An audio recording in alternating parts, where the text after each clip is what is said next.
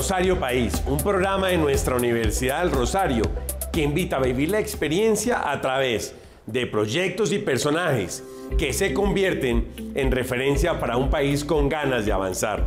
Formamos proyectos de vida al servicio de Colombia.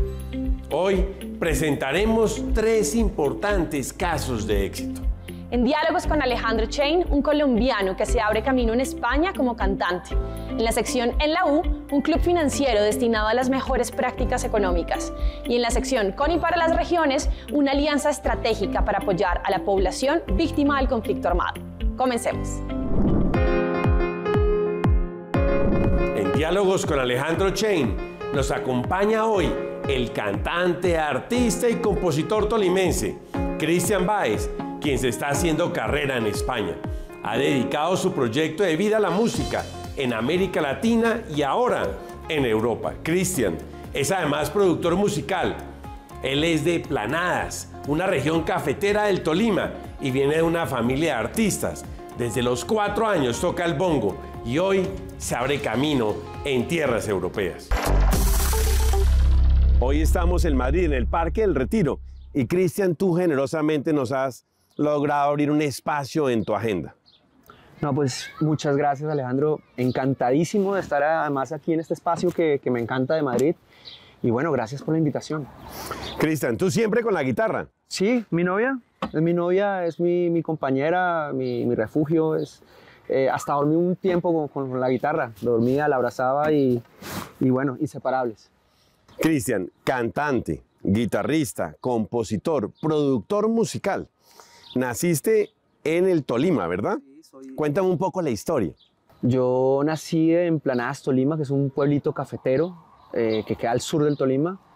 Eh, vengo de una familia de músicos, mi padre era compositor también, eh, pintor, y siempre he estado como rodeado de, la música, del arte, y siempre he estado con, con esta obsesión, que uno no sabe si es obsesión o o es, eh, eh, ¿qué es? Algunos llaman un talento, un don. Para mí simplemente se, se ha vuelto como, como el oficio de, de, trabajar cada día con pasión por, lo, por, por la música, ¿no? Y esto es... Cristian, tú empiezas a descubrir tu proyecto de vida, por supuesto, gracias a toda la historia musical de tu padre.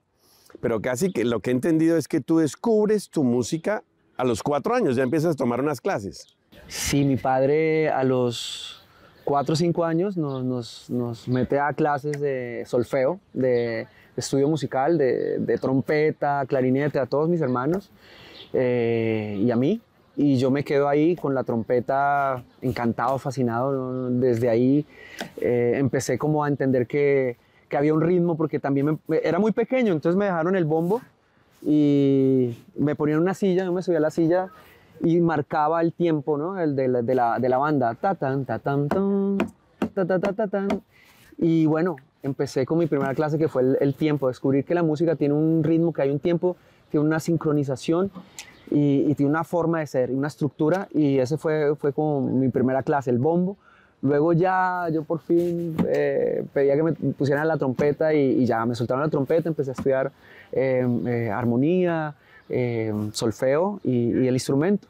Dicen que tú siempre escribes pensando en el amor y muy especialmente en los sentimientos. Y por eso una de tus canciones, Sálvame, que creo que fue en el año 2003, tiene una historia muy bonita con una novia tuya o exnovia tuya. sí, es que Sálvame eh, se la escribía a una, a exnovia y la idea eh, inicial de todo este tema de, sonar en la radio que tenemos los músicos eh, a mí me surgió fue por esa relación. Ella me, termina y, yo empiezo con, la idea de escribirle una canción para que ella la escuche en la radio y vuelva conmigo. Y, esa canción se llama Sálvame. Sálvame. Eh, cumplí mi objetivo porque la canción sonó en la radio, estuvo en los primeros lugares en, en, tiempo en, Colombia. Hice muchas giras con esa canción, gracias a esa canción. Eh, y bueno, mi exnovia volvió conmigo, luego me dejó, pero, pero bueno, quedó la canción. Quedó Sálvame. bueno, cuéntanos un poco el mensaje de Sálvame. Sálvame de tu olvido. No me des ahí. Sálvame con tus labios quiero soñar que me quieres a mí. Hoy te llevo en mi mente y me duele sentir. Tú eres mi buena suerte y es duro pensar que todo tiene fin.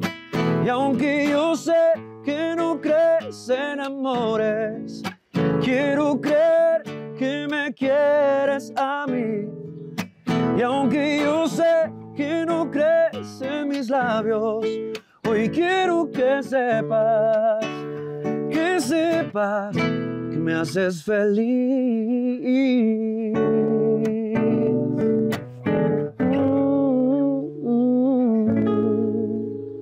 Cristian, extraordinario. Cristian, ¿te gusta los boleros? ¿Te gusta mucho la salsa también? Me gusta toda la música. Pero hay algo muy especial es que siempre buscas eh, incorporar las rancheras en tu música. Sí, sí, tengo, tengo una influencia. Bueno, yo- Planadas, nací, yo nací al, pegado a una cantina.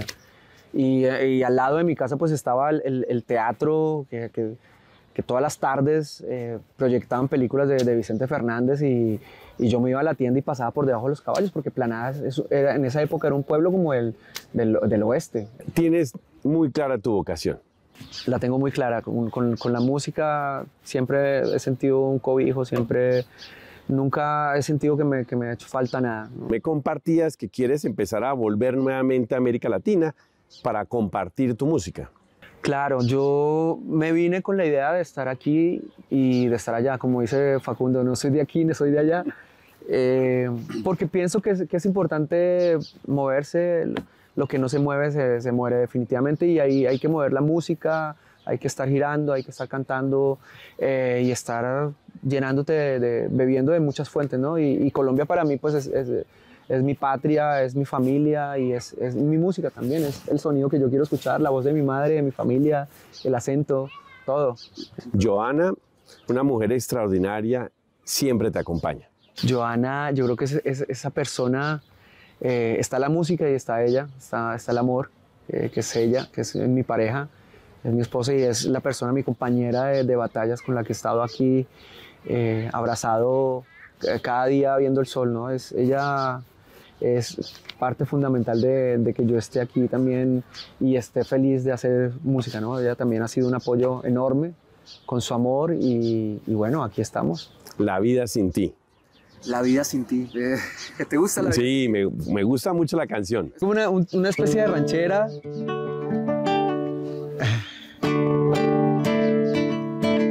Esta vez a vivir, ¿para qué quiero un mañana?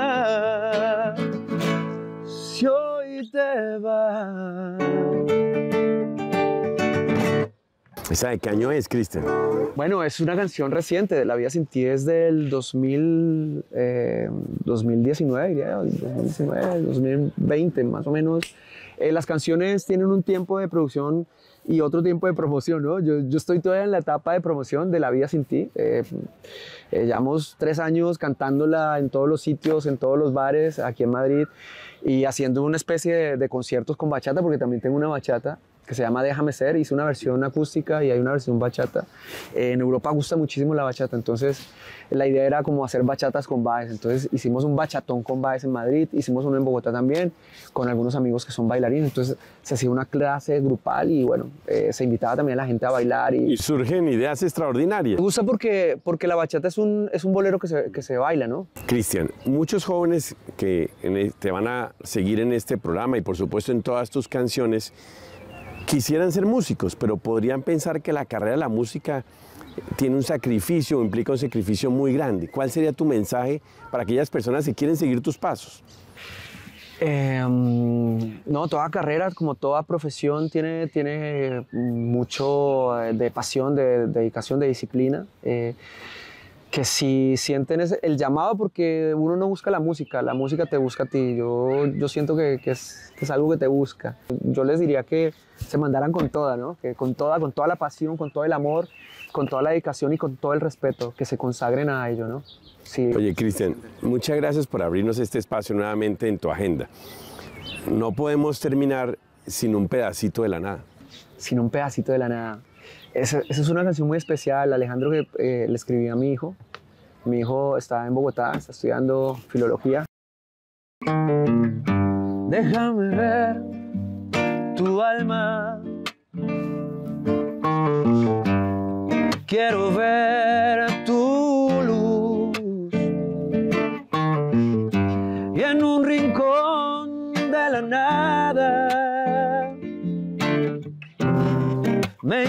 hacia el sur.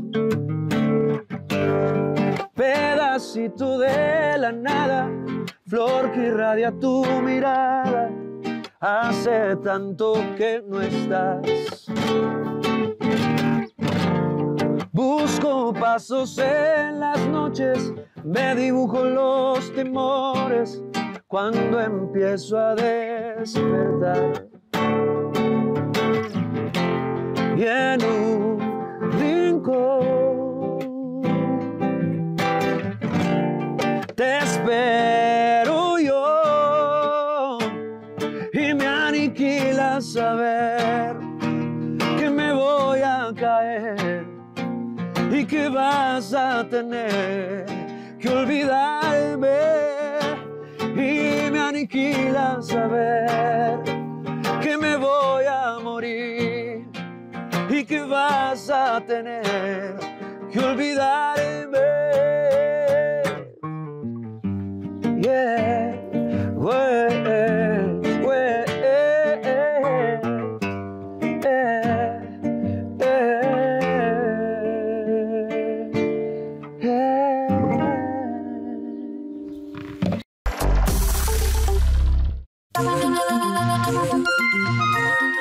Universidad del Rosario fue la sede de la decimosexta Competencia Internacional de Arbitraje, un evento académico que reunió a 588 estudiantes de 10 países de América Latina y Europa.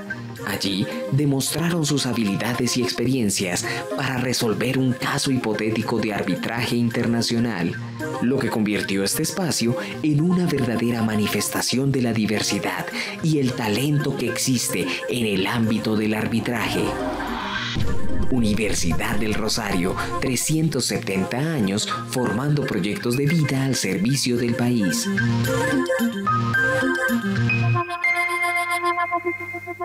La Fundación Texmoda y la Escuela de Administración de la Universidad del Rosario realizan un proyecto para apoyar a las microempresas del país, enfocadas en ayudar a personas vulnerables víctimas del conflicto. Miles de jóvenes han podido sacar adelante su pequeña empresa y además cambiar el entorno familiar con todas las herramientas que han obtenido fruto de esta alianza.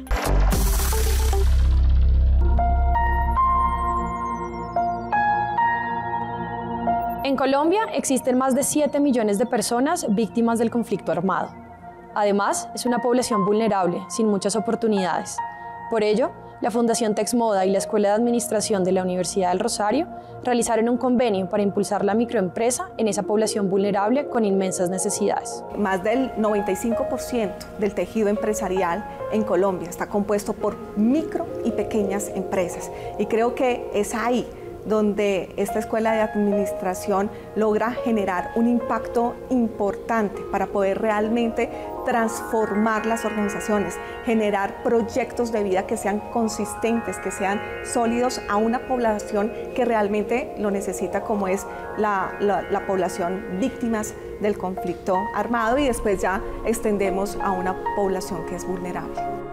Luego de la pandemia, han podido llegar de manera presencial y virtual a diferentes zonas del territorio nacional para apoyar las pequeñas empresas que han sido la esperanza de miles de familias en estado vulnerable. El programa de negocios para nuevos tiempos de Fundación Tesmoda lo conocí por medio del enlace municipal de Las Cejas. Del programa fue algo maravilloso porque eh, podía participar con más personas de nivel nacional podía ver historias de más apicultores, de, estábamos de Carolina del Príncipe, estábamos de Monte de María, entonces habíamos muchas personas con el mismo tema y compartíamos experiencias.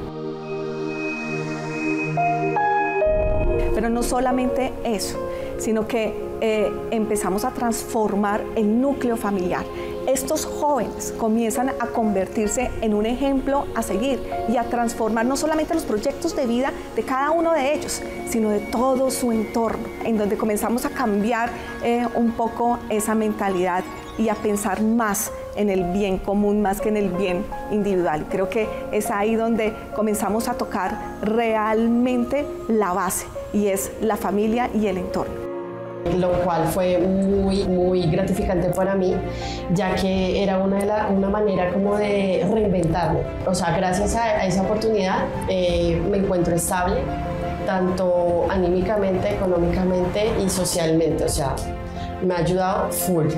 El apoyo de los profesores de la Universidad del Rosario, brindando herramientas indispensables para impulsar la microempresa, han sido fundamental para el desarrollo exitoso de muchos jóvenes colombianos. Esto ha aportado a los emprendimientos o a las personas que están ahí en su autonomía económica, al empoderamiento económico, a, también a su autoestima. Eso ha sido súper importante para nosotros. En ambos programas con la Universidad del Rosario trabajamos todas las habilidades socioemocionales porque esto es importante para que ellos logren a través de estos significar su proyecto de vida, que a la final es lo que nosotros buscamos fundación, como fundación es la construcción de ese proyecto de vida. Les deseo de todo corazón que sigan implementando esta clase de proyectos a, pues, a nuestra población joven que pues no cuenta con esas oportunidades. Entonces, eh, deseo que muchos, muchos, muchos jóvenes eh, hagan parte de este gran proyecto.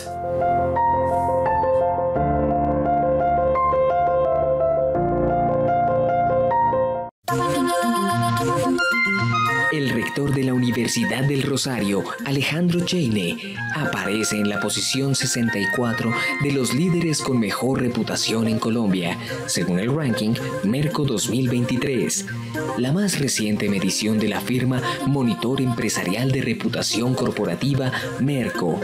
Destaca el liderazgo de la institución en su ranking Empresas y Líderes. Universidad del Rosario, 370 años formando proyectos de vida al servicio del país.